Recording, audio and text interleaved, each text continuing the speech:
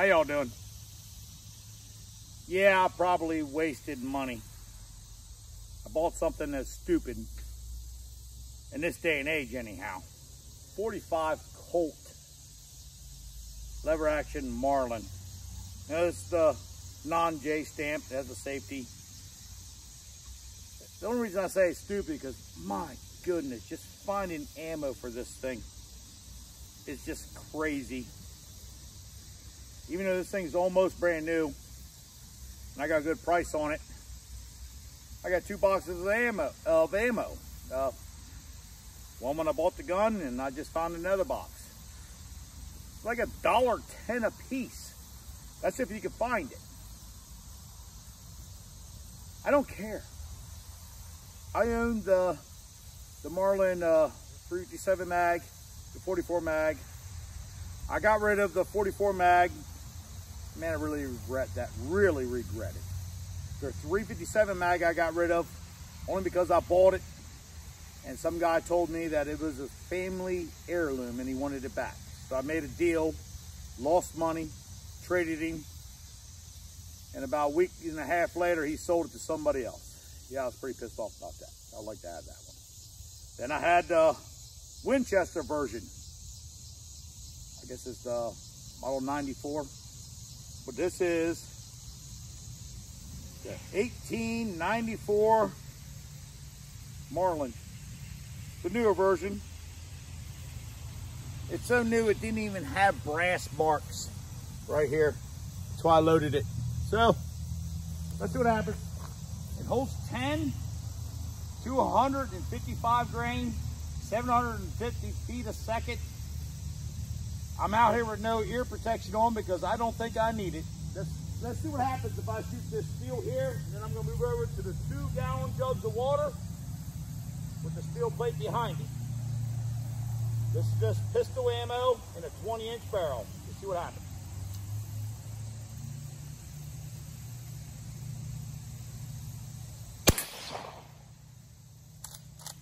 I do believe it might be hitting hot.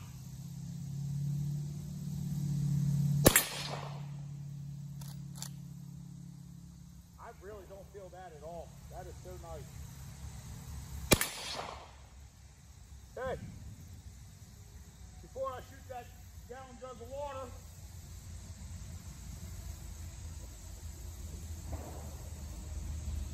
something I call the pistol caliber swagger. You just walk along. That's it. It's actually perfect. You can just carry it anywhere. Put in your left hand. Pistol caliber swagger. All right, let's shoot this uh, jug of water. Two jugs, two five gallon jugs and steel plate behind it.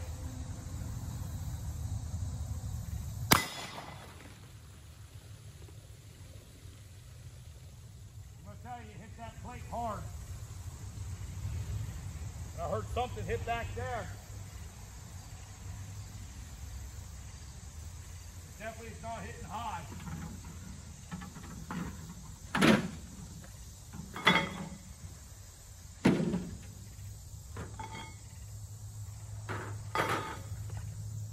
I'm gonna tell you, I do believe that went through both jugs and bounced back. Oh, probably should do a little more, you know, see where this stupid thing hits. I'm going to aim at that pressure jug down there. I should be saving that brass. Ooh.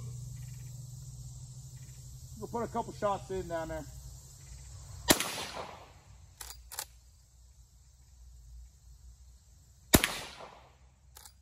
Oh yeah, hit exactly where I want.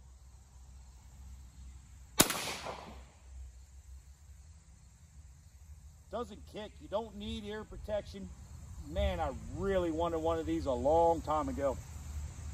Now there's a ammo shortage. Did I make the right decision? I'm gonna try to take out the heart over there to the left. I'm not sure if you guys can see it, but I don't care.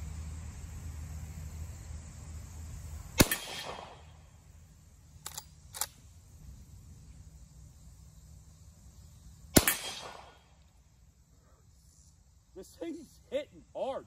I think it knocked the thing off. Well, got some old paint there to see what happens.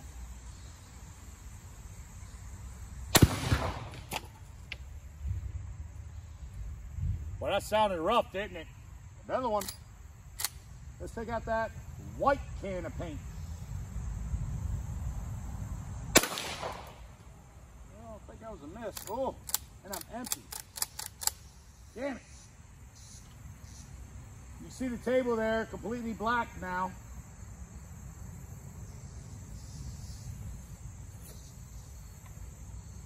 Want to thank Dan, W Cells, for making me want this.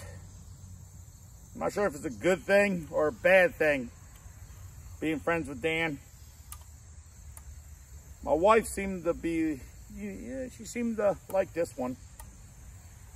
But the next one, I'll probably be divorced. All right, God bless you guys. This thing is almost perfect, if you look at it, almost.